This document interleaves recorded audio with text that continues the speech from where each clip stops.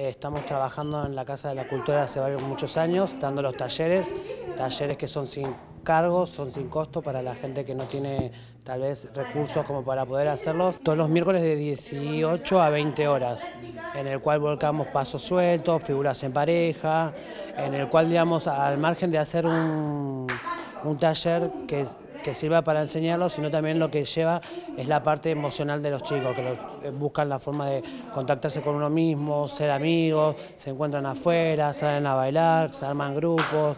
Eso también es lo que se genera en los talleres que son de la Casa de la Juventud. Y me encantan las clases, son re divertidas, los profes son unos genios.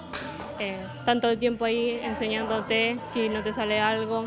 La verdad, este es mi segundo año acá y volví porque me encantó. La verdad es que es súper organizado, los profesores son un amor eh, y hay un montón aparte de talleres gratuitos, teatro, eh, stand-up, están buenísimos. Las chicas que nos atienden también son divinas.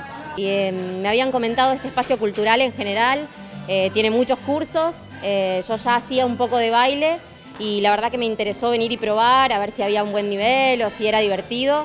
Eh, y la verdad que no lo cambié. Desde el año pasado, no lo cambio por nada, es un espacio para venir y divertirse, para la mayoría venimos de, o de colegios, porque es para chicos chicos también, o del laburo y te desconectás de, un poco de todo y te divertís bailando, es un espacio que está muy bueno. Y para cualquier tipo de nivel, punto, el punto final, eh, nivel principiante, nivel intermedio, no es necesario tener conocimiento previo, eh, la idea es pasar una clase divertida y pasarla bien.